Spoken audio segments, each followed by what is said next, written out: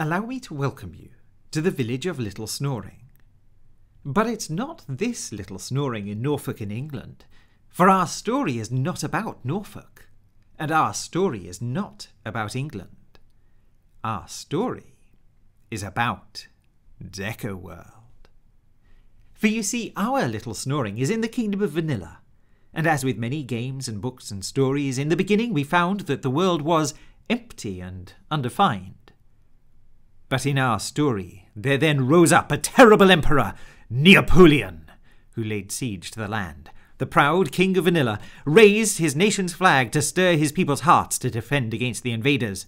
But unfortunately, this being the kingdom of Vanilla, their nation's flag was white, and everybody surrendered. And so the kingdom of Vanilla fell, and soon Neapolian had conquered their neighbours, Cocoa and Strawberry, and founded the terrible Neapolitan Empire, in whose icy grip our village of Little Snoring now lies. But there is good news. For the Emperor is being deposed, and you, proud people of Little Snoring, so called because if you fall asleep in lectures, I'll keep telling bad puns till you wake up again. You, proud people of Little Snoring, are in control now, and with your digital hammers and your digital bricks and your digital mortar, you can go forth and shape this land and this world in any way that you see fit.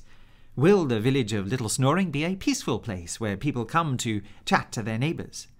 Will it be a proud city in which magnificent buildings are constructed and beautiful ships sail upon the harbour? Or will it be a more simple place?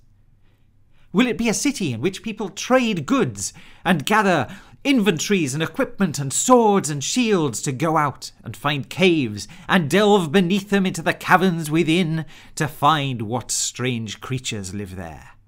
Or would you rather go to the pub? Whatever you may choose, this land, this world is now yours, and only you can decide.